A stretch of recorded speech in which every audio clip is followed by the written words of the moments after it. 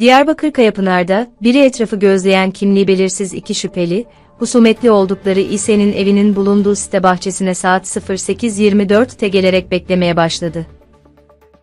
Saat 10.39'da evinden çıkıp, aracına doğru giden İse'yi gören şüphelilerden biri, belinden çıkardığı tabancayı doğrultarak ateş etmeye çalıştı. Tutukluk yapan tabancayı tekrar ateşleyen şüpheli, İse'yi bacağından vurdu. Şüpheliler, saldırı sonrası olay yerinden kaçtı.